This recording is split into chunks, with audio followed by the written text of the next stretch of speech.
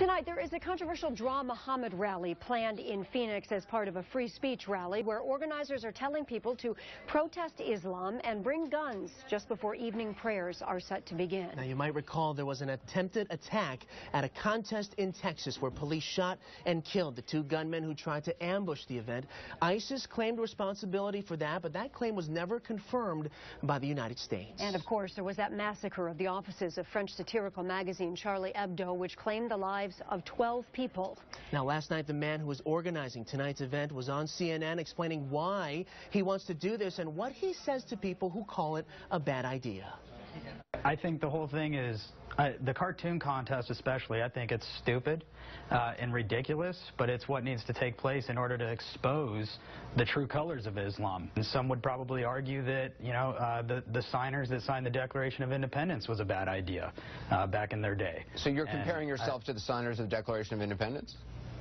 Uh, yeah. I, I, I just, I don't want to live in fear. I shouldn't have to live in fear.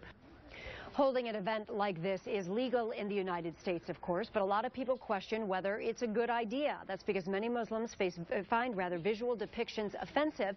The Quran, however, doesn't even mention that. Now, John is Dawud Walid, the executive director of the Council on American Islamic Relations Michigan chapter. Dawud, let's just get right to it. Can you give us some perspective about why some Muslims feel depictions of the Prophet Muhammad are offensive?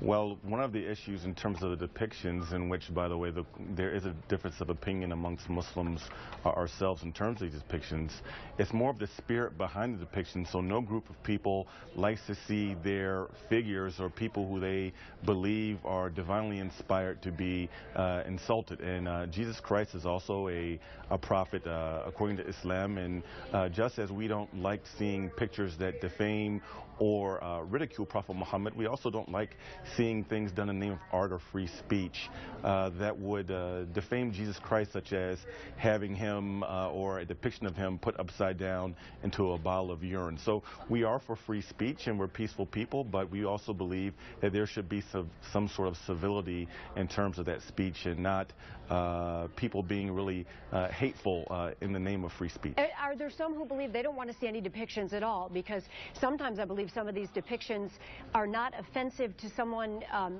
by just looking at it, meaning there's nothing offensive in the way if it, they're hanging or anything yeah. like that that you mentioned, but, but there are some Muslims who just don't want to see Muhammad depicted in any way, correct?